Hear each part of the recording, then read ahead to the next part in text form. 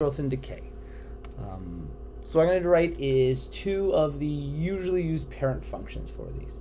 Um, so I might say f at x is equal to, um, I'll, I'll, start with the basic one for an exponential function. It's common to have an exponential function like this, where b stands for like the base and x is the exponent here. So here's our like most basic exponential function.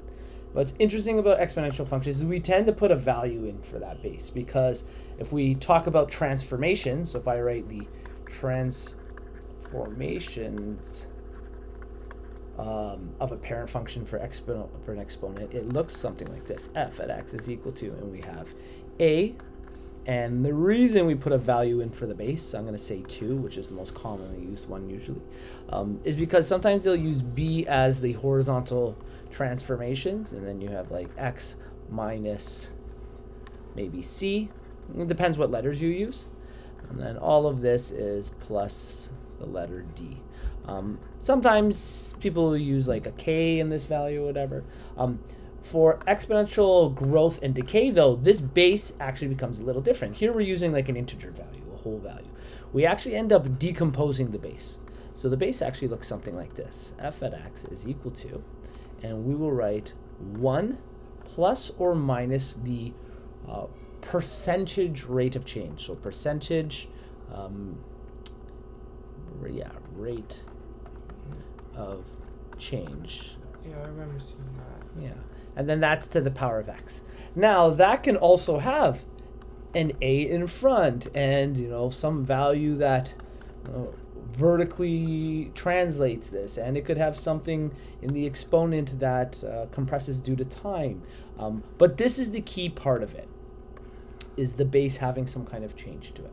So for, for instance, if I have money is a common one used. If I have an interest rate that's compounding, so and it's growing 5%, let's say a year.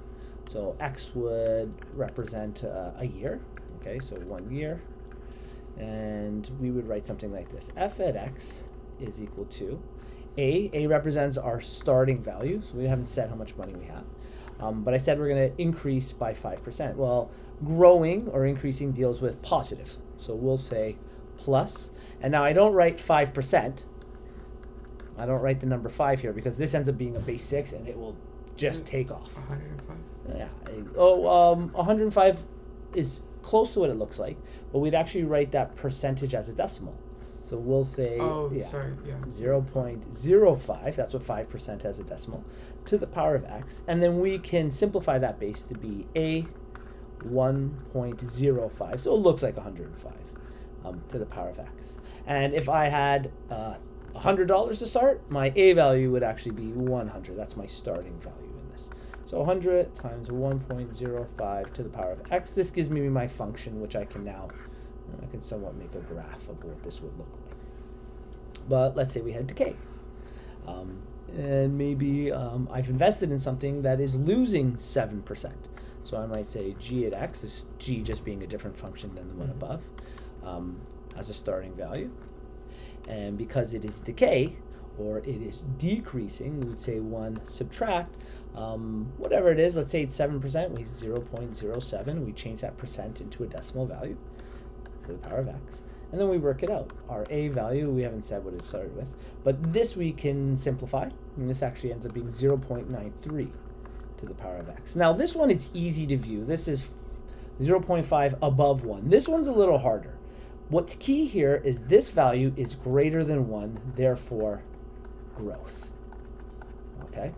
This value is less than 1, therefore decay. Anytime we're less than 1, we are shrinking. Anytime we're greater than 1, we are growing in value. Um, and let's say we started with, I don't know, a 1,000 of something. Our A value would be a 1,000. Um, 0.93 to the x. And then that would again give us a relationship that looks like this. Where we have a decaying relationship instead. Okay? Um, that's the general way of setting up growth and decay for an exponential function. Um, the rest of that stuff, transformations can all be part of it, but this is the most basic way of setting something like that up. Okay? So is the A value